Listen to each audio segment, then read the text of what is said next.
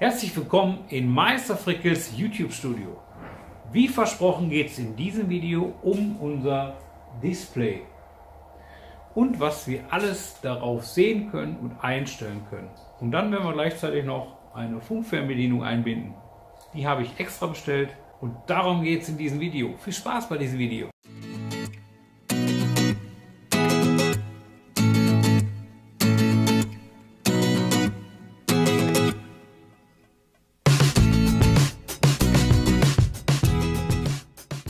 So Leute, wie versprochen geht es heute darum, unsere Standheizung so zu programmieren, wie wir das haben wollen. Und dann gehen wir direkt noch andere Sachen ein, wie zum Beispiel Fehlermeldung. Was bedeuten die Fehlermeldungen? Wie können wir sie deuten? Und welche Sicherheitsabschaltung hat unsere Standheizung? Ähm, die großen Namen. Wir haben alle Sicherheitseinrichtungen drin, unter anderem auch unsere chinesische Heizung hat auch Sicherheitseinrichtungen. Die sind auch ungefähr alle fast irgendwo identisch oder gleich. Und dann ist das auch egal, ob ihr bei dem einen oder bei dem anderen bestellt. Ich habe zum Beispiel jemand, äh, der Sevi, der äh, hat bei einem anderen Händler bestellt wie ich. Der hat auch äh, hier, äh, ich sag mal, ein anderes Zertifikat. Er hat einfach nur ein DIN A4-Blatt, wo alles draufsteht. Zeige ich euch dann gleich auch nochmal genau. Das sind ein paar Sachen äh, schöner, detailliert aufgemalt oder aufgezeichnet. Äh, hier hast du mehr, mehr zu lesen, sage ich mal. Und aber trotzdem ist alles ungefähr gleich. Dafür hat, diese, hat er dann diese E-Prüfung extra nicht, ähm, aber im Endeffekt scheinen die Teile alle gleich zu sein. Als allererstes möchte ich einmal mit euch Störungen durchgehen. Also wir gehen einmal der Reihe nach durch. 1 Unterspannung, 01 Unterspannung, Fehler 02 Überspannung, Fehler 03 wäre die Kerze, äh, Fehler 4 Pumpe, Fehler 05 hatte ich jetzt einmal, aber nur durch mein Umprogrammieren. Das wäre äh, Gerät zu heiß. Dann geht da auch automatisch die Notabschaltung.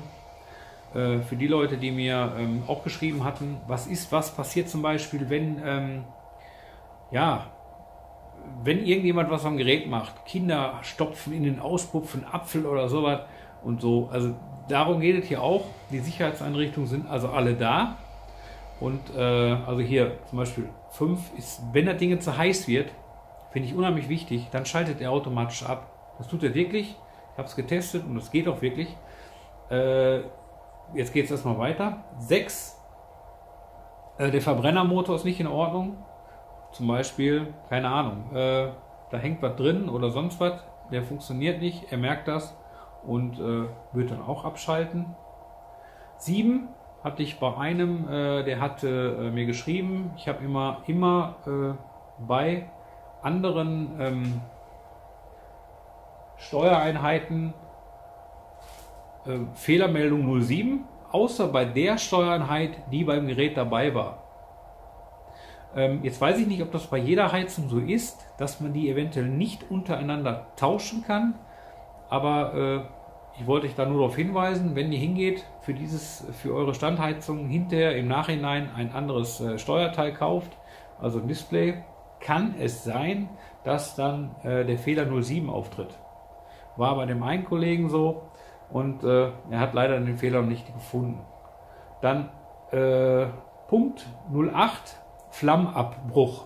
Das bedeutet, wenn zum Beispiel eure Kinder oder irgendjemand anders den Auspuff äh, äh, jemand reinstopft oder die, die Zuluft, also die Ansaugluft äh, abklemmt, dann habt ihr natürlich Flammabbruch, Gerät wiegt wieder auf Störung, geht auch wieder aus. Das heißt, die Sicherheitseinrichtungen sind grundsätzlich alle da und so viel ich das mitgekriegt habe, funktioniert das auch. Also wie gesagt, ich habe das Ding hochgedreht, weil ich natürlich wissen wollte, was kommt aus den Dingen raus. Und er ging dann auch äh, kurzzeit auf Störung, also dass er zu heiß geworden ist ging in die Abschaltung und alles war safe und super gut. Jetzt gehe ich hin und blende euch einmal äh, den Screenshot vom Sebi ein. Äh, da können wir genauer sehen, weil auch schöne Bildchen dabei sind, ähm, welche Fehlermeldung für was verantwortlich ist. Das nächste ist, jetzt gehen wir mal auf eine Funkfernbedienung ein. Ähm, ich hatte hier zu Hause ganz viele Funkfernbedienungen rumfliegen, habe gesagt, ach komm, äh, brauchst keine kaufen, wird schon passen. Nee, passt nicht. Ich habe hier zwei identische Funkfernbedienungen. Zumindest sehen sie von außen gleich aus. Äh, so und so. Aber wenn ich jetzt hingehe und aufmache, hat der eine vier Knöpfe und der andere hat zwei Knöpfe. Jetzt kommt der Witz. Wenn er dieses aufschraubt, sind da auch vier Knöpfe drin. Ich weiß nicht, warum das eine funktioniert und das andere nicht funktioniert. Beides hat äh, 433 Hertz. Das eine kann ich anlernen, das andere nicht. Ich weiß nicht warum, vielleicht wisst ihr das.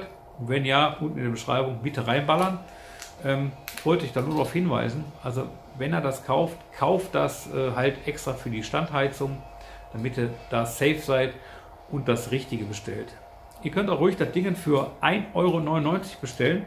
Äh, ich habe jetzt 4 oder 5 Euro, glaube 5 Euro bezahlt. Äh, da war auch keine Batterie bei.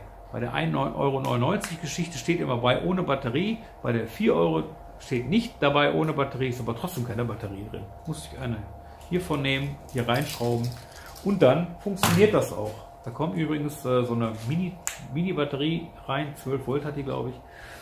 Und äh, die solltet ihr dann mitbestellen oder vielleicht schon da haben. So, jetzt gehen wir darauf ein. Ich würde sagen, wir werden jetzt als allererstes mal die Funkfernbedienung einbinden, damit wir da schon mal safe sind. So Leute, wollt ihr jetzt eine Funkfernbedienung einbinden, drückt ihr den Knopf nach oben und kurz Zeit später OK und haltet dieses gedrückt und dann erscheint, ich mache das mal eben, also erst hochdrücken, hier drauf drücken, dann erscheint dieses AFR und dann drückt er auf der Fernbedienung auf. Habt ihr gesehen? Dann hat er jetzt einmal hier so geblinkt. Zack, er zeigt das schon on an, er hat geschaltet. Drücke ich jetzt auf Zumachen. Geht er direkt auf Off und die Funkfernbedienung ist schon eingebunden. Ging jetzt ziemlich flott und äh, funktioniert auch sehr gut. Wir gehen jetzt nochmal nicht direkt in das Gerät rein, sondern erstmal alles, was wir von außen steuern können. Ihr habt also hier jetzt die Zeit, die das Gerät eingeschaltet ist. Dann kann man hier weitergehen. So, das hier ist äh, eine Codeingabe. Der möchte einen Code haben. Jo. So, jetzt haben wir hier äh, Raumtemperatur haben wir gerade 10 Grad. Auf 31 Grad war das Gerät eingestellt. Also wenn ich das einschalte, versucht er auf 31 Grad hochzupumpen. 10,8 Volt liegen an.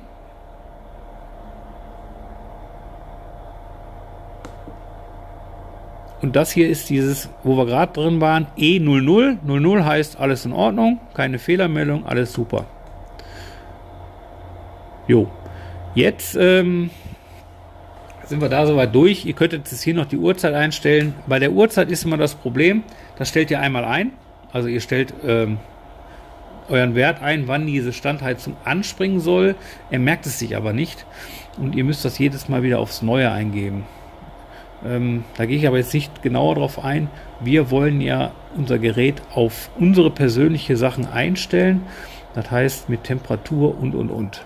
Jetzt hat mich ähm, also einer darauf hingewiesen, ihr könnt, wenn ihr äh, eure Pumpe, das, wenn ihr eure Gerät das erste Mal in Betrieb nehmt, dann könnt ihr wohl hingehen, die Pumpe ganz alleine ansteuern. Also ihr geht hin, drückt den Pfeil nach unten und OK. Haltet fest. Jetzt geht ihr hin und drückt den Pfeil nach oben. Dann macht es On und ihr hört das Tickern der Pumpe. Die Pumpe springt an und die Pumpe fängt an zu fördern. So lange, bis ihr wieder auf Pfeil nach unten drückt. Dann geht es wieder aus. Okay, jetzt sind wir wieder raus. Dort könnt ihr jetzt hingehen, dann den Sprit von eurem Tank über die Pumpe zu eurem Heizgerät hochschicken, ohne dass irgendwelche Sachen im Heizgerät angehen. Sehr praktisch, hat mir übrigens auch einer von euch gesagt. Ich wusste das damals noch nicht. So, jetzt gehen wir einmal in die Tiefe des Gerätes. Dann gehen wir hier oben auf das Zahnrad. Einmal drücken, nochmal drücken, nochmal drücken. Jetzt haben wir hier diese Balken. Da geben wir den Code 1688 ein.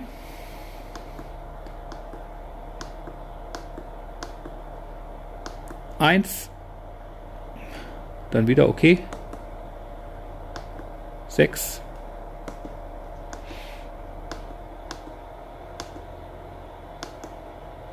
8, 8. So, jetzt sind wir im Menü. Ich muss mal hin und wieder ein bisschen wechseln hier. Ähm, damit es nicht weggeht. Sonst, wenn ihr nämlich zu lange nichts macht, dann geht es weg. Ihr habt jetzt hier P11, geschweige denn 1.2 ist die Grundeinstellung meines Gerätes bei 5 kW. Ich drücke jetzt hier nur hin und her, damit ich nicht gleich wieder den Code eingeben muss. Ähm, so, also 1,2 ist die Grundeinstellung. Das ist die Pumpenfrequenz in dem minimalen Bereich. Die verändere ich auch nicht. Wenn ich das sage, okay, das ist okay, also ich kann meinen Wert einstellen, den ich möchte, und dann drücke ich OK, dann geht er weiter. Das ist jetzt der höchste Wert. Steht bei mir jetzt gerade auf 5,8.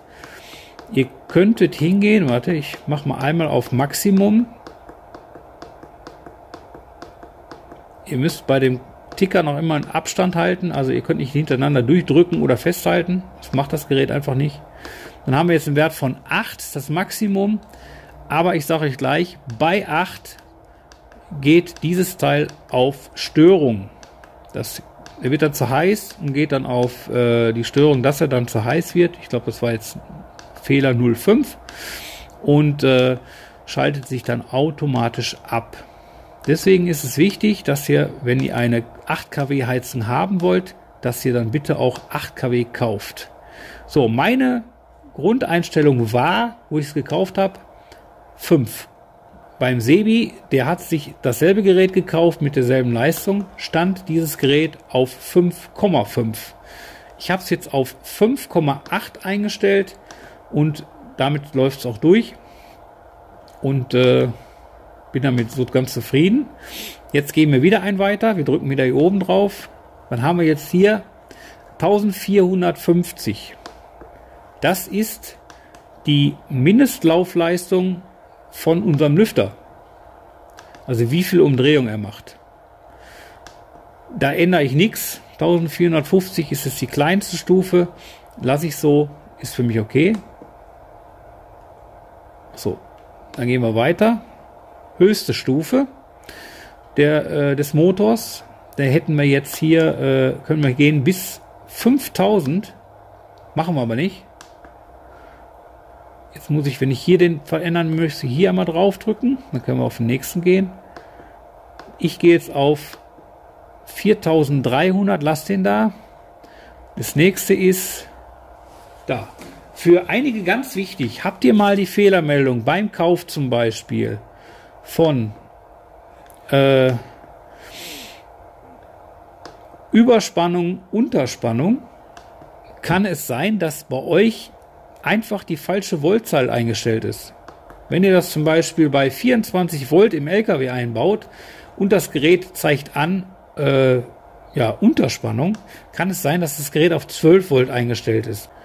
Andersrum kann es dann auch passieren, baut ihr dieses in ein 12 Volt Auto ein und es steht auf 24 Volt, kriegt ihr wahrscheinlich die Fehlermeldung Unterspannung. Das könnt ihr hier einstellen, also 12 oder 24 Volt. So, ich bin jetzt hier auf 12 Volt, lasse ich natürlich auch so stehen, alles ist gut. Nächste ist, dann habt ihr jetzt hier noch den Wert SA 1 und 2. Da streiten sich die Geister drum, was das genau bedeutet. Ähm, ich habe festgestellt, dass in dem 1er Programm äh, der Lüfter quasi nach Temperatur angesteuert wird. Und im Zweierprogramm läuft der Lüfter die ganze Zeit auf Vollgas. Es ist die Frage, was möchte man? Also ich möchte nicht, dass der Lüfter die ganze Zeit auf Vollgas fährt, weil äh, ja, irgendwann geht der Lüfter natürlich drauf. Ne? So, eins noch. Ihr habt jetzt die Möglichkeit zum Beispiel, wenn ihr jetzt die beiden Tasten drückt, sind wir jetzt, jetzt habe ich auf P 4,7. Das bedeutet, jetzt kann ich hingehen, wenn ich hoch und runter drücke, kann hier vorgeben, äh, wie oft die Pumpe tickert, geschweige wie schnell. Oder ich gehe hin, drücke wieder beide Knöpfe, habe umgeschaltet auf die Temperatur. Bedeutet jetzt gerade, ich habe auf 35 Grad eingestellt. Das heißt, bei 35 Grad regelt er sich erst runter. Das schafft ihr ja gar nicht, ist viel zu kalt. Äh, aber ich kann natürlich auch jetzt runterregeln auf die Temperatur, die ich haben möchte. Und dann ist das temperaturabhängig. Äh, Temperaturfühler ist übrigens im Display und äh, von dort wird die Temperatur genommen. Die Ist-Temperatur und wird dahingehend äh, geregelt. Und ganz zum Schluss möchte ich noch eine Frage beantworten, die wurde mir des Mehrfachen gestellt. Äh, warum hast du deine Heizung so weit oben aufgehangen? Das ist doch total blöd und ähm, macht doch gar keinen Sinn. Ich habe es aus mehreren Beweggründen gemacht. Das erste ist, ich habe kleine Kinder. Der Auspuff, der da hinten rauskommt, wird richtig heiß. Packen meine Kinder da dran, hätten sie schwerste Verbrennung, da habe ich keinen Bock drauf. Das nächste ist, dahinter steht ein Gebäude. Geschweige denn, da ist noch so ein Unterstand und der geht ungefähr bis hier ist nochmal so ein Abdach. Ich zeige es einmal. Hier ist noch so ein Abdach. Rummelsecke quasi, ne? Und damit sich in meiner Rummelsecke nicht irgendwelche Abgase ähm, quasi sammeln und die Zuluft natürlich auch dann mit Abgase verseucht wäre und meine Kinder hier spielen oder ich darunter bin, warum auch immer, und äh, da unten eventuell einschlafe, wegnicke und dann das Zeitliche segne, geschweige denn meine Kinder. Äh, deswegen habe ich meine Standheizung so weit oben an der Decke angebracht. Ich hoffe, damit ist es dann endlich mal geklärt und äh, verständlich, warum ich das so gelöst habe, wie ich es gelöst habe. Ja, das mit der Funkfernbedienung übrigens äh, war mir auch sehr wichtig. Vor allem, weil ich dieses äh, Teil ja gekauft habe, ohne eine Funkfernbedienung, aber schon extra darauf geachtet habe, äh, ob mein Display es kann.